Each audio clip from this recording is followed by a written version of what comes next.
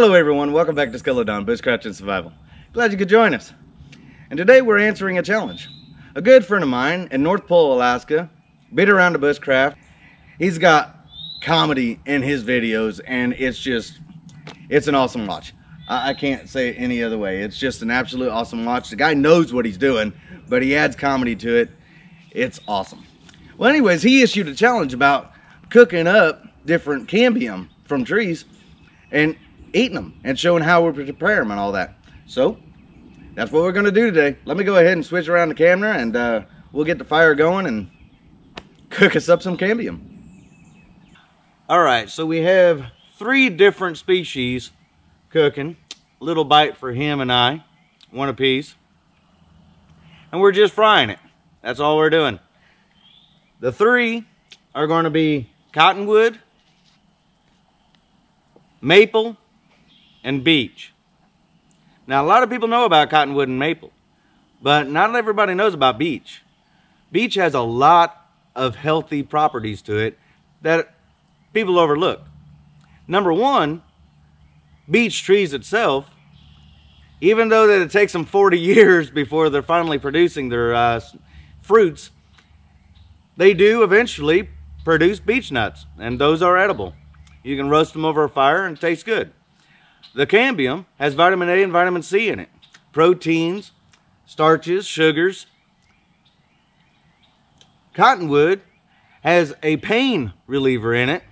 It's uh, has to be condensed to actually do too much, but it does have an aspirin-like compound in it. So if you're allergic to aspirin, then it's probably not a good choice for you.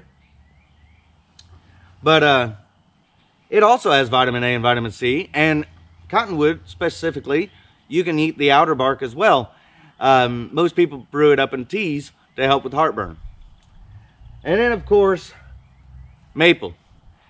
Every species that I know of, besides the Japanese versions, I don't know anything about those, but every single species has edible parts on it. Some of them, you can get water from them. And beech you can too. So I forgot to mention about that. A beech, you can get water from it at a certain time of year. Sugar maple, you can do the same thing. Like I said, specific type of maples, you can get more. Well, you can also eat the cambium on all species. And it's in vitamin A and vitamin C, proteins, and, you know, starches, sugars, so on and so forth. I mean, it's really healthy. In fact, I think these are actually done. So let's go ahead and uh, take this off the fire. And yeah, uh, that is uh, fire. Let's see here. I'll take a leaf over it and see if I can get close enough. Wet leaf. Yeah, but it's hot enough. Yeah. Yep, there you go. You start seeing the flame. Yep. I had to try out my uh, new multi-fuel cooker. But anyways, the first one we're going to do is maple. Set that right there for you. And set this right here for me. And man, that was hot. All right. Bon appetit.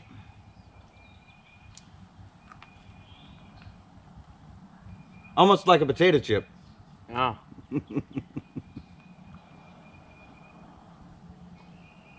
actually tastes pretty good. Yeah. Maple actually does. That wasn't the flavor I was expecting. No. no. Maple actually does taste good. And then we've got beech right here. Well, there you go. That's beech.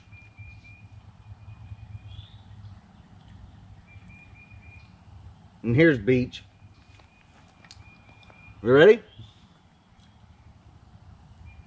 Ready.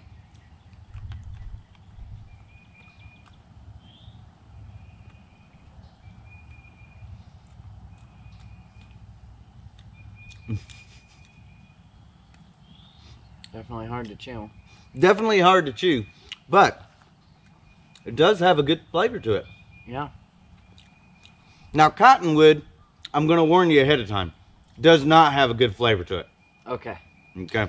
It has kind of a, a, a bitter flavor to it. Okay. Just letting you know before you uh, try it out. All right. I like it. You do? Yeah, I like it. Kind of has a nutty flavor to it, Yeah. but it's bitter. Yeah. It's extremely bitter. Yeah, I can tell by the flavor most people would not like it. Right, right. But I wanted to warn you about that before you took it. Cottonwood does have a very bitter taste. Huh? I think that's my favorite. Really? Yeah. so you like bitter foods then? Yeah. But yeah, I mean, the history of eating cambium goes back many, many thousands of years, just like my good friend Rod had pointed out in his video. And I saw his video. I loved it. It was a challenge to show how that, you know, different people fix fixes different cambium and stuff. And like he said, make sure that it is non-toxic. Make sure that it's good trees, you know, to use from. Like cherry, you might be able to eat the, the fruits of cherry, but the cambium is highly toxic. So do not eat that. You know, I mean, find trees that are non-toxic and stuff like that.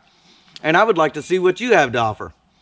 So if you've got some trees around and you know, do your research, make sure that they're not, you know, poisonous or anything. Fry them up, doing some kind of recipe, and let us see how you fix the cambium and how you eat it. That's how I normally do it. You can eat it raw, but there's a lot more flavor to it when you do it this way. You can add salt and whatever you want to it. I mean, you know, like I said, when you fry it up like this right here, it's almost like chips. It, it's kind of a crunchy, you know. But thank you very much for watching. That's going to be it for us. But uh, I had a lot of fun with this right here. Yeah. Yeah, it was a short video, but it was fun. So, if you liked the video, hit the like button, subscribe, share, comment, and all that good stuff. And uh, we'll see you on the next one. And remember, nature, it does provide.